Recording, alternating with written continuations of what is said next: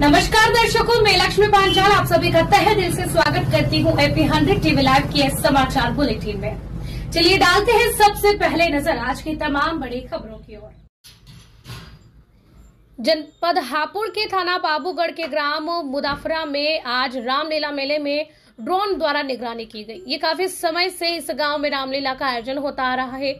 इस मौके पर चौकी प्रभारी महंत राज यादव और साथ ही रामलीला समिति प्रधान टीटू परचा, उजेलेश अग्रवाल, पप्पन कंसल, पंडित कुमदेश शांडिल्य समस्त क्षेत्रवासियों द्वारा व अन्य गाँव के लोग भी इस दौरान उपस्थित रहे। संवाददाता आलम टाइगर की